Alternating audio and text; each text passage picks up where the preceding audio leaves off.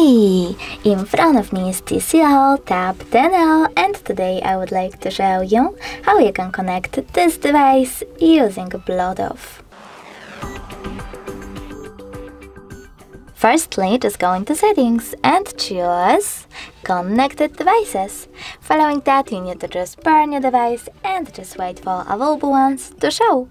When they do, click on the chosen one.